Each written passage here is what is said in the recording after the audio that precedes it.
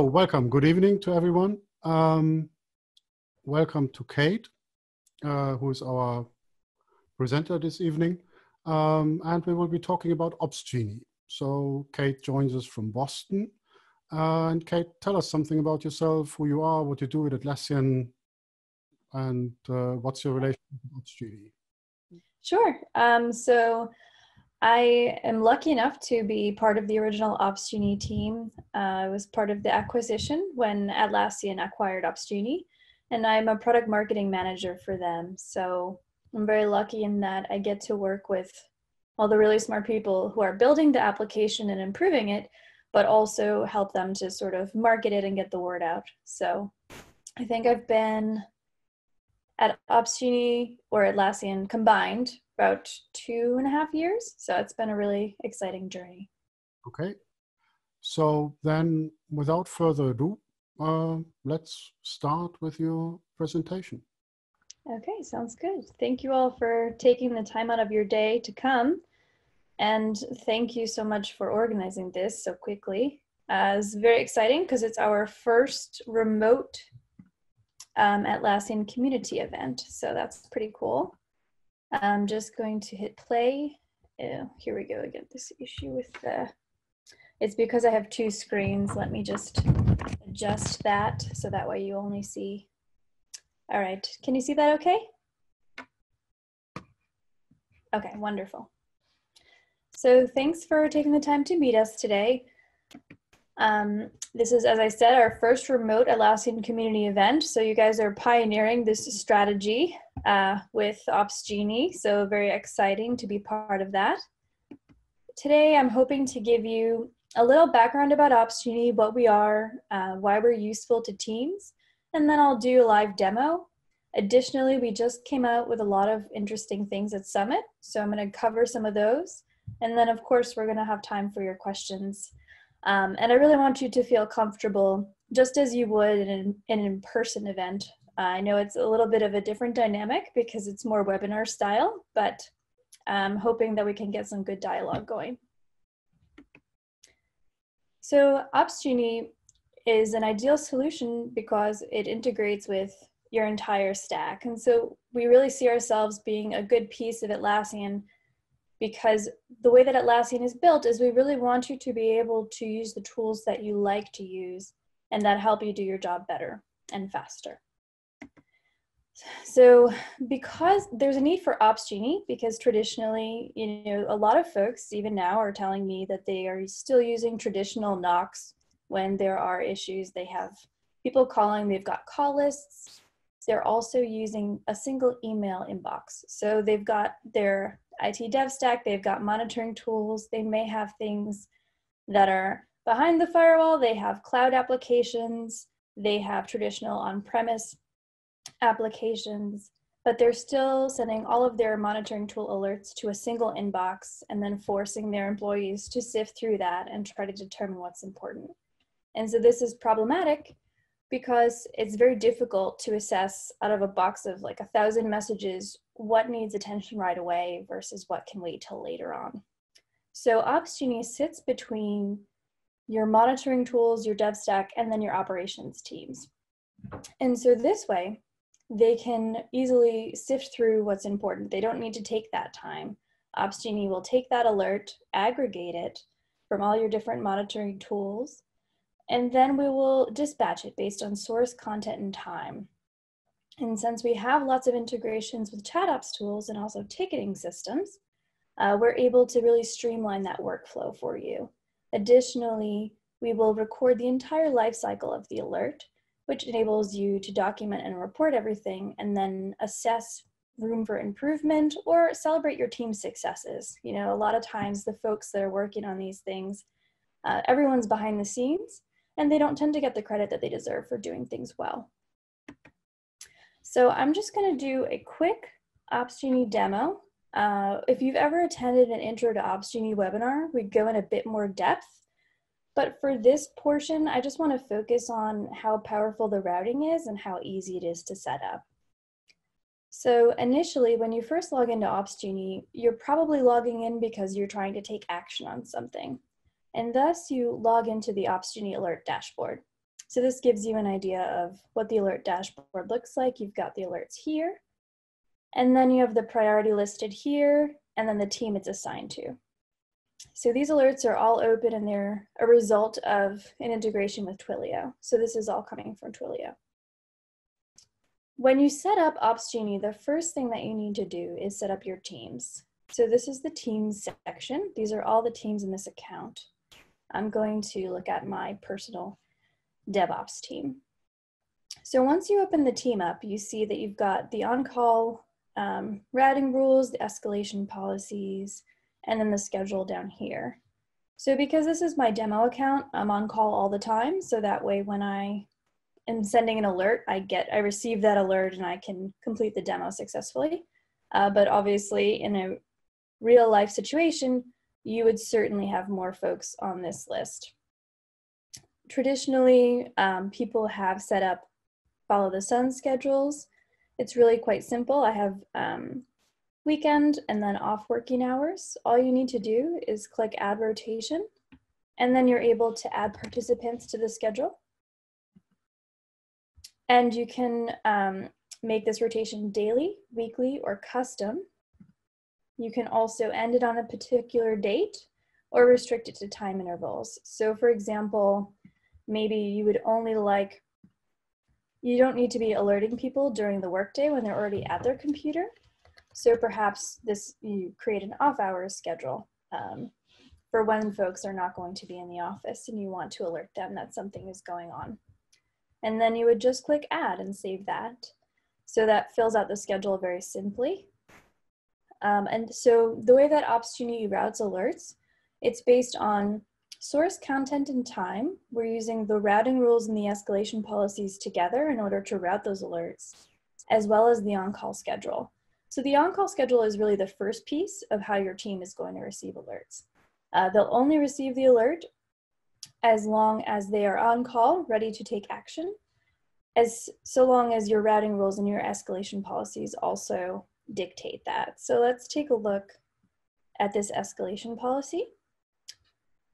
This is pretty basic. Initially, you want to notify all of the on-call users in a schedule.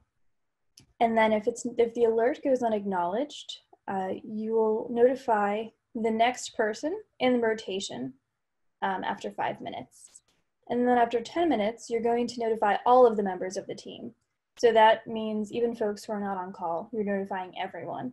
And the purpose of this is to just make sure that nothing goes missed, um, nothing gets undetected, um, and you're only notifying people who are going to be taking action. Traditionally, most teams will then include notifying a manager after 15 minutes if the alert still goes unacknowledged. This way the manager can look into why nobody's responding and why nothing's happened. You also have the option to repeat this um, escalation policy as many times as you like. Um, and then if the alert's not closed, you can revert acknowledged and seen states. So what that means is if I'm in the alert dashboard over here and an alert comes through and I click on it, I'm not going to receive any notification because Opsgenie knows that I'm looking at it. And the reason that this is, is the purpose of Opsgenie is to reduce alert fatigue and only alert you when you need to be alerted. So if Opsgenie knows that you've already looked at the alert, it's not going to alert you of the alert again. And then you'll be able to see that in this, um, in the activity log all the way at the bottom here because I've been here for a while. Where is it?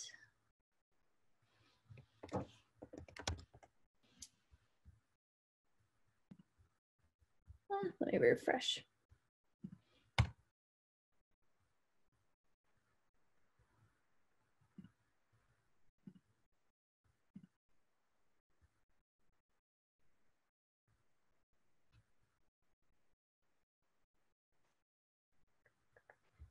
Well, I can't find it, but it ought to be here. It might be here and I might just not be able to find it. So forgive me for that. Um, so in this case, uh, we also suggest that folks only acknowledge alerts that they're going to act on because once you acknowledge an alert, it's not going to continue to notify the rest of the folks in your rotation. Um, so let's go back to my team. And we'll finish talking about routing rules. So another mistake that folks make is that when they are creating a routing rule, they forget to route to the escalation. So if you don't route to the escalation, it's not the alert's not going to escalate. It's just going to notify who you've selected. So in this case, uh, again, in the spirit of reducing alert fatigue, we've got when a P4 or P5 alert comes through, so any priority less than moderate, you're not going to um, notify anyone. This is because typically P4s and P5s are informational in nature, and you do want to have a record of them, but you don't necessarily want to wake somebody up in the middle of an on-call shift for something that's just informational. So in this case, it will route to no one. This means Opsgenie will keep a record of it and you'll be able to refer to that, but you're not going to necessarily um, have to be bothering people in the middle of the night for no reason. So the next thing that you will do, um, I'm going to just quickly show you the integrations in interface, is every integration is connected to a team. And that's how you determine who's supposed to take action when something goes wrong or an alert comes through for that particular integration. And so this is our integration interface here. You see I have Jira software, Jira Service Desk set up. Um, what we're gonna do now is I'm just going to show you quickly what the Jira software setup looks like. Um, I know that a lot of folks are using that, and it's quite similar uh, between Jira software and Jira Service Desk. The integration itself looks pretty simple, uh, pretty similar. So when you once you click in, you've got your little quick instructions here. And we have two tabs. We have a basic tab, and then we have an advanced tab. This is the basic tab. And the goal of this is to help you get set up as quickly as possible. So you're determining how the alerts created by JIRA are going to react and how you want updates sent back to JIRA. So in this case, if an alert is acknowledged in Opsgenie, a comment is going to be added to the JIRA issue. And so you're mapping from um, alerts to JIRA. And then down here, you determine which JIRA issues create an Opsgenie alert and then how that behavior is um, as well. So if the alert is created in Opsgenie, you'll create an issue in JIRA. Now, the one thing that you would like to, you definitely need to pay attention to is the alert filter. So you do not want every single alert coming through Opsgenie to create an issue in JIRA, because again, that's going to add to the fatigue and it's going to kind of be like the boy who cried wolf. You're not going to need an issue in JIRA for every single Opsgenie alert. So what you want to do is map uh, based on priority or you have a lot of different options. You can map based on description, based on alert details, alert message, responders, source. You have all these different options. In this case, I've settled on the priority is critical.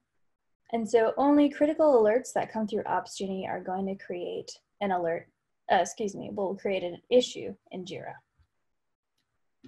And then all you need to do is click save. Um, but since this is already saved, I'm not gonna do that. The other thing here is in the advanced tab, you have a lot more options for customization. So if it's easy for, easier for you to always have the issue key within the message of the alert, you're gonna drag that in there. Um, if you want all alerts coming from JIRA to be a particular priority, you have the ability to customize that as well. And then if there's certain tags that you want included, uh, perhaps you always want the author to be tagged in the alert, you have that option as well. So there's a lot of different ways you can customize the experience. It just depends on your particular workflow. And that's the great thing about Opsgenie. Uh, for those of you who are new to Opsgenie, we integrate out of the box with over 200 ITSM tools. But if there's not an out of the box integration, we can pretty much accept anything that sends JSON or HTTPS. And then at the last resort, you're able to create an email integration as well. So those are just some things to keep in mind depending on what you're planning on integrating. Um, a common question that we get additionally is what about on-prem tools? So Opsgenie is only a cloud application, but we do have something called Opsgenie Edge Connector that enables you to connect with on-prem excuse me, that enables you to connect with on-prem tools and communicate back and forth between Opsgenie and those tools. It is secured. Um, we use TLS and HTTPS encryption. So you're not going to be um, making yourself vulnerable by connecting to Opsgenie as a cloud application. And it's just something to think about if you're mostly using on-prem. So quickly, I'm just gonna make sure that my phone ringer is on because I would like to show you the power of Opsgenie's alerting. So what we're gonna do is we're gonna take these three alerts and create an incident. And so the way that Opsgenie incidents works is you set up incident templates beforehand so that way you determine how uh, everyone is notified and what different pieces uh, you want followed. So in this case, I'm creating an incident manually. Typically, you set up parameters beforehand that would create the incident automatically for you. I'm just doing it manually so that way I have full control over when the incident occurs and I can show you right now um, based on these three alerts just to give you a little bit more of a window into that. So I've selected these three alerts to create an incident from them. Um, this is all manual, as I said, it's typically automated.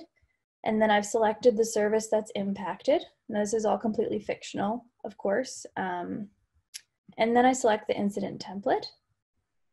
And then there's an incident message that's automatically filled in that I have created beforehand. And then the incident priority as well. You have options when it comes to a, a conference bridge you're able to use either Opsgenie's native conference bridge, which is a video conference bridge, or you can use your team Zoom account. Now, in order to set up the Zoom integration, you do need to be the administrator on that account. Otherwise, the permissions will not be accepted and you won't be able to set up that integration. Um, but that's something that's really cool. I know a lot of our folks uh, really enjoy using that as well. And then you have a status page entry title. So that way, if someone working in your organization sees a problem, they're able to log into Opsgenie and look at the Opsgenie status page of services and determine if a service is in an incident. So I'm gonna click next. And then my team is the owner and I wanna leave that alone. You can also add additional responders down here. The next piece is to add stakeholders. You can create teams of stakeholders beforehand. I'm gonna leave this blank uh, because in this case, it's just for demonstration purposes. So I've clicked create and now I've got the notifications on my phone here. And if I don't acknowledge anything, I'm gonna get a call soon. Um, so I'm just gonna show you. I've already received the text. Um, let me see, I need to find my video so I can see that you can see me. Um, so I've got this text message here. And then I also have the alert within the Opsgenie application. So I'm receiving a mobile push as well as a text message. And if I don't acknowledge it shortly, I will receive a phone call um, because that's what I have set up in my notification policies. So that's how quickly it happens. And then from the mobile phone, what I'm gonna do just to show you, um, let's go to the incident just so you can see it before I do anything. So this is the incident here. And so I'm going to update the priority from my phone. And let's refresh. Oh, and there's the phone call because I didn't acknowledge it. Okay, perfect. So I've updated that. You've noticed it went from a P2 to P1. The other thing that I'd like to show you and this is new, we've just announced this last week at Remote Summit, is you're able to create a dedicated Slack channel to the incident. So what I'm going to do here is I'm just going to name, uh, adjust the name, but it does pull from the tiny ID of the incident, uh, but you are able to customize this completely if you choose. So I'll do um, Berlin ACE demo.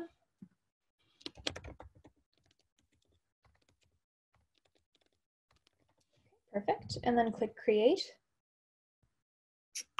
And then I'm not sure if you heard that notification from Slack, but that here's that channel right here. So you see it's pulled the description from what I wrote, and then also the title is up here. It's automatically added the five responders that are on my team. And then I'm just gonna, it's a little hard to see, so I'm gonna zoom in a little so you can see a bit better. Um, you've got that this incident was created, and then you have all these buttons here that you can act on. So I can add a responder, send a status update, add a stakeholder, resolve the incident, close it. But what I'm gonna do is just um, write something in here and then we will add this to the incident timeline. So everything that comes up in this conversation, you're able to add to the incident timeline. And that's great because what happens is it's recorded for you within OpsGenie. And then when you go back into OpsGenie, well, what I'll do here first is I'll resolve the incident. Okay, so now you see that the incident's been resolved. And I'll go back into OpsGenie. And I'm just gonna refresh. So you see the incident's been resolved and now it's time to create a postmortem. So I'll click on create a postmortem. And then once I open that, you'll see the timeline here. It's just gonna take a second to load. So that message I added from Slack testing has also been added to the timeline. And it shows you when the Slack channel was created, as well as all the activity during the incident. Now, um, this is really helpful because it's all recorded for you and you can obviously you'll be saying many more important things during an incident other than just testing you can add those various messages and discussion pieces into the timeline so it's all ready for you. And that way, when you're finished with the post-mortem and you're sharing that with stakeholders or management, you have everything here in one place. So for now, um, that concludes the demo portion. I'm just gonna go back through some different roadmap pieces with you all and discuss a little bit more how we see the incident management piece um, and how we see OpsGenie working with the various tools that Atlassian offers in order to create a personalized incident management flow. So I'm not sure how many of you were able to attend the remote summit, um, but we did announce a lot of really cool things, many of which enhance our connection with the other Atlassian tools. Uh, so it was really quite an exciting time. So let's just go a little bit into that.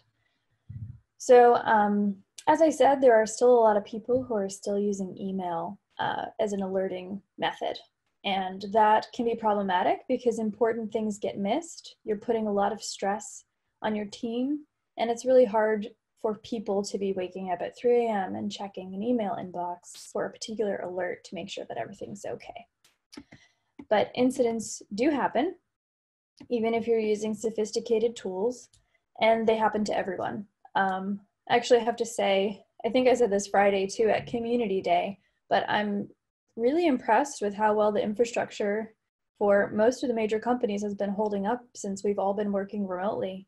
I mean, I personally haven't had any issues with any of the technology I've been trying to use. So I think that's really cool. And it probably speaks to how a lot of organizations are really building to be more resilient um, and more more able to adjust. So that's, I mean, it's pretty impressive, I think. Uh, so the cost of downtime, and this can go up or down depending on the size of your company, is about $4 billion a day. So it's very expensive, it's very stressful. And what we're aiming to do is really empower teams with the right tools to be able to handle these situations with grace and be able to not waste time connecting disparate tools, connecting disparate teams, um, for example, the cool thing about the Slack integration is that within a click of a button, since everything's been set up beforehand, you have everyone in one room at the same time ready to tackle the issue. So for the way that we see incident management with Atlassian is we have OpsGenie, and that's the alerting and on-call piece. When paired with Jira Software or Jira Service Desk, we have that incident management powerhouse as well. And then status page is helping you when something goes wrong to be able to build trust and communicate with your stakeholders and then with your customers. So for those of you who are not familiar with status page, just very quickly, I'll explain that status page in most cases is a customer facing page where you can automatically update um, what's going on. You can list scheduled maintenance, you can list outages, and you can give regular updates during incidents so that way your customers can refer to that page instead of increasing ticket volume and putting all of the stress on your help desk.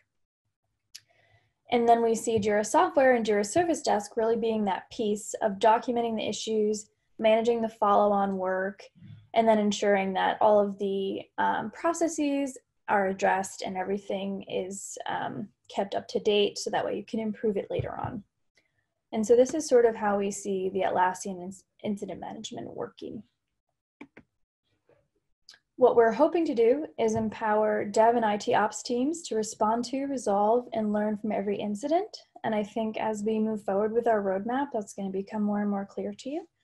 Um, we do have a lot of exciting announcements from Summit. So the first one would be the Slack for incident management, which I've just shown to you. Uh, this is great because you're able to, again, respond very quickly all at once. Everyone's in the same room on the same page. And then you're not losing that record, even though that conversation is taking place outside of Opsgenie or outside of an Atlassian product. The record doesn't get lost because you're able to add that to the incident timeline. And then in terms of the JIRA integrations, um, this has been coming for a bit.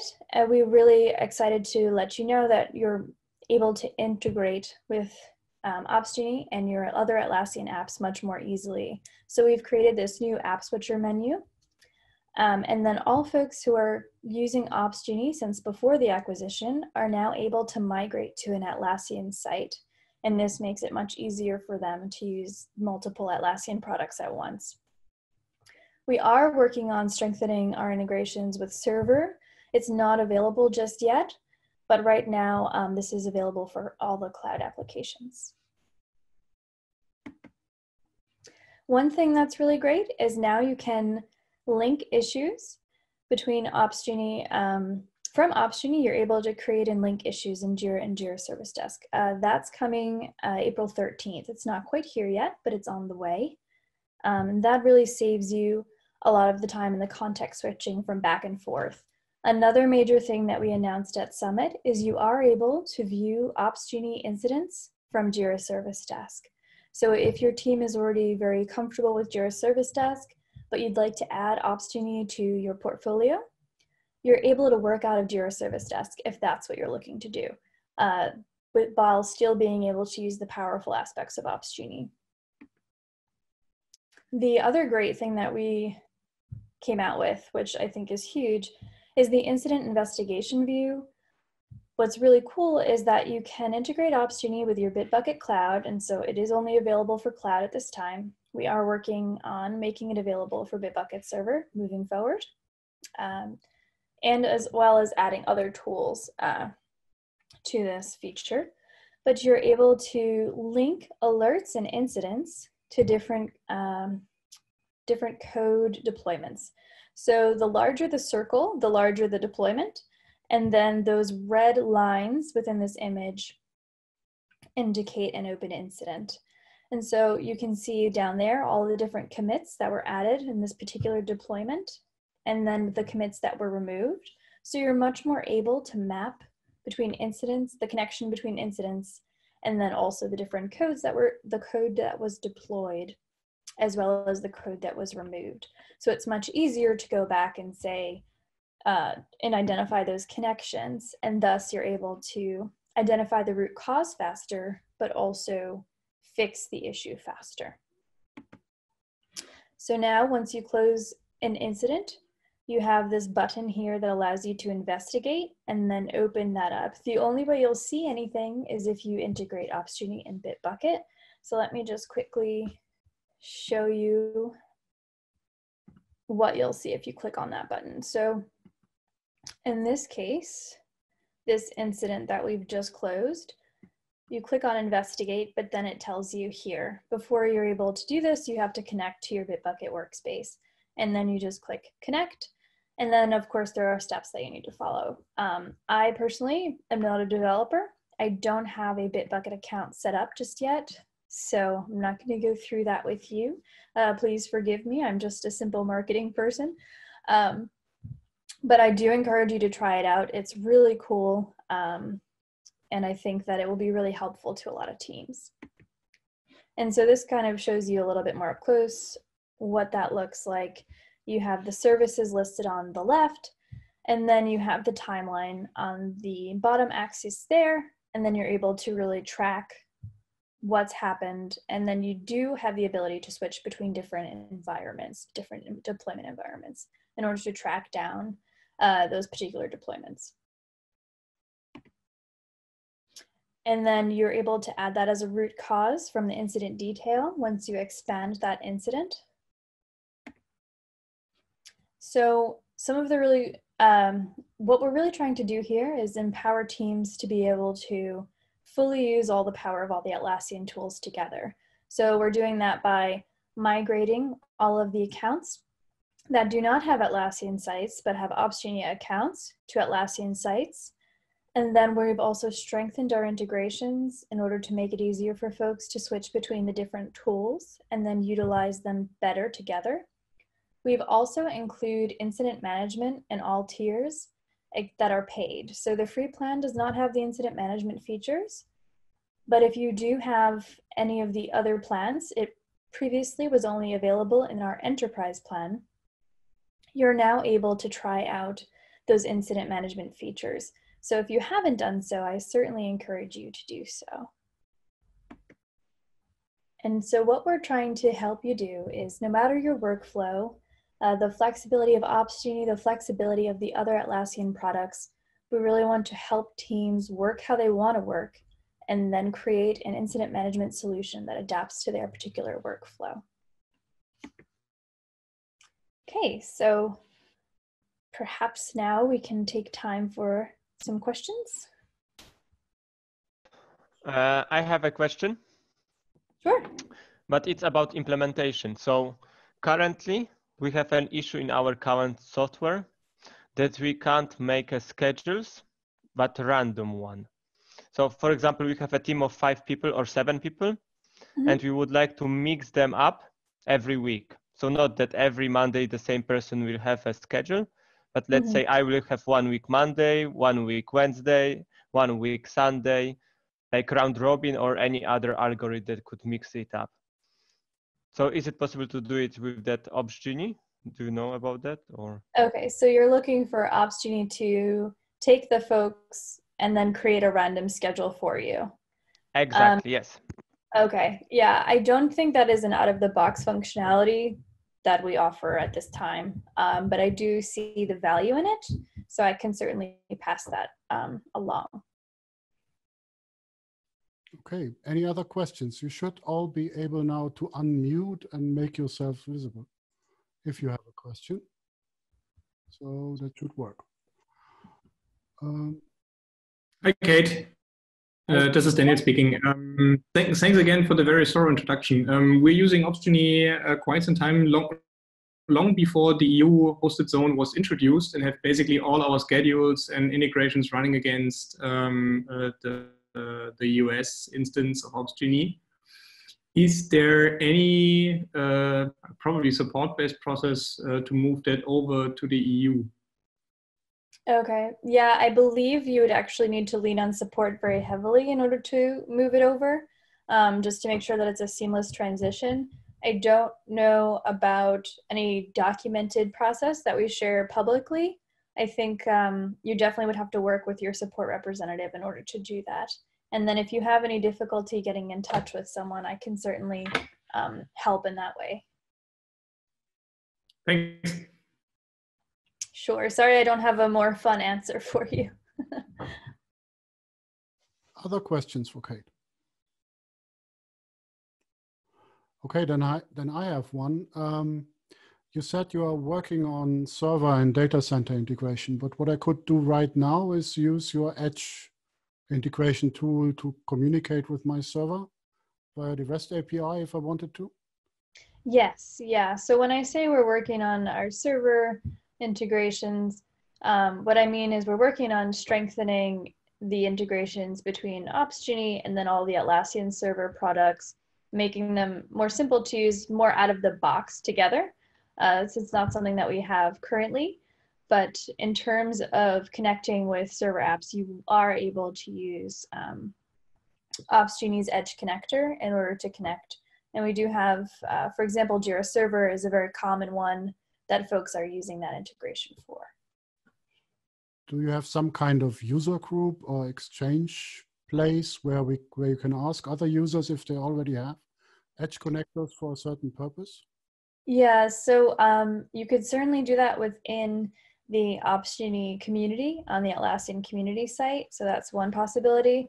There isn't a ton of discussion around it right now, uh, probably just because the Opsgenie community is still relatively new within the Atlassian community.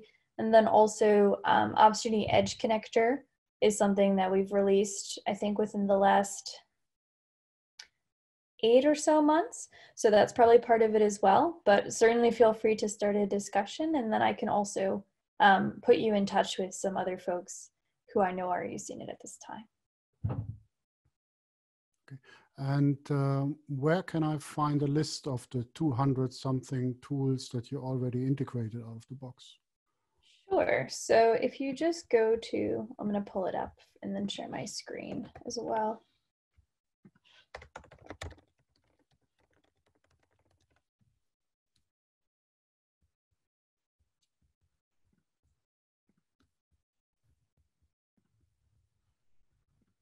Okay, so here you can see the full list. That's um, atlassian.com slash software slash opsgenie slash integrations. And then you have the full list down here and you're able to filter it um, however you prefer. So we have 204 results. If you wanted to search just by monitoring and logging, you can filter that way. Or if there's a specific tool you're looking for, you can type it in the top and it will come up. Okay. Good question.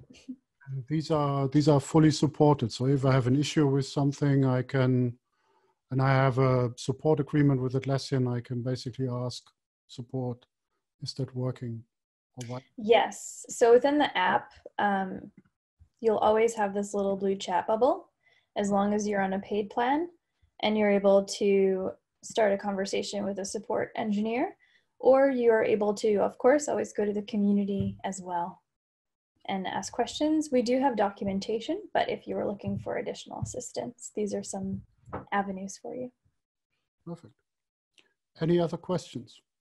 So, uh, last chance, going once, going twice, and gone. Thank you, Kate. That was yes, thank you.